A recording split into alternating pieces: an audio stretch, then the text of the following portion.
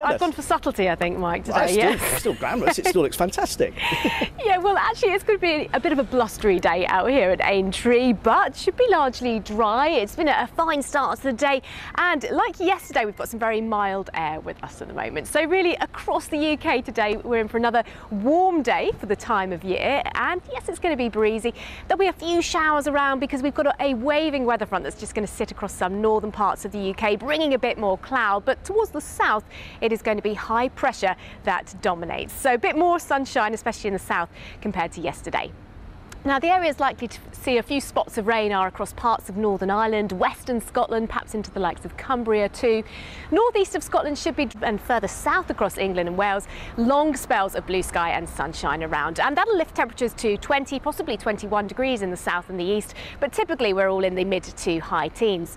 Now, through this evening and tonight then, we've got a bit of rain to come in across the northwest. That's going to be pushing its way gradually further south, fizzling out as it does so, and it's going to be another mild night. So temperatures between around about 7 to 10 degrees as we start the weekend. Now Saturday then starts off dry for most of us. There will be some more persistent rain pushing into the far northwest of the UK. And as that heads its way south, it'll become more showery. So we're looking at blustery winds tomorrow and some scattered showers towards uh, the, the north and the west of the UK, whereas further south and east, it'll probably be staying dry with some sunshine. So as we head through the day then, that chance perhaps we could catch a passing shower here at Aintree on Saturday afternoon for the Grand National, but those showers are going to be really hit and miss. Towards the south and the east, you should avoid them, and it'll still be another warm day with temperatures up to 20 degrees or so, whereas towards the north and the west, we're looking at those temperatures pegged back at around about 13 or 14.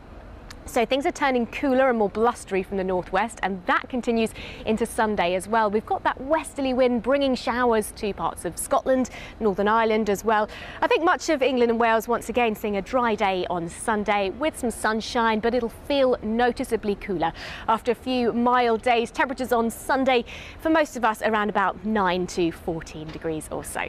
So that's how it's looking over the next few days then. Certainly mild out there today, should be dry here for Ladies' Day as well but then things turn a little cooler as we head through the course of the weekend and into next week as well. So yes, we've had a lot of rain recently. We've been talking about all that wet weather that we've seen recently. The ground out here certainly is fairly soft to heavy.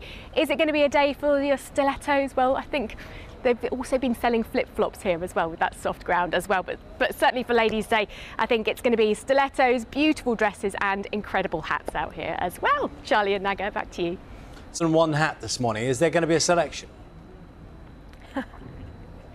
oh, I don't know. I've gone for subtlety with my hat, haven't I? But I think um, perhaps I'll perhaps I'll be able to to wrangle some different hats through the morning for you. All right, Mike Bushell, hat consultant.